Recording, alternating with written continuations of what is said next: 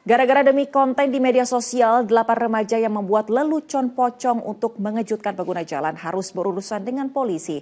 Informasi dari Padang Sumatera Barat itu sekaligus menutup patroli untuk segera bergabung dengan program Fokus bersama Zulfikar Nagi. Saya Wanda Dwi Utari pamit, berikut informasi selengkapnya.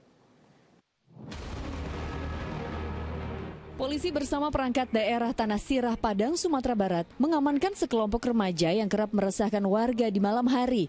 Para remaja itu berpura-pura menjadi pocong di tengah kebun untuk menakuti pengguna jalan yang melintas.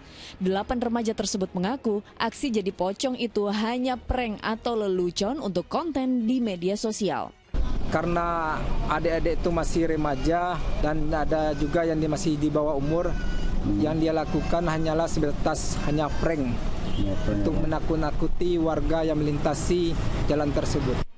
Ya, polisi belum memberikan sanksi hukuman. Para remaja itu diminta membuat surat pernyataan untuk tak mengulangi perbuatannya kembali.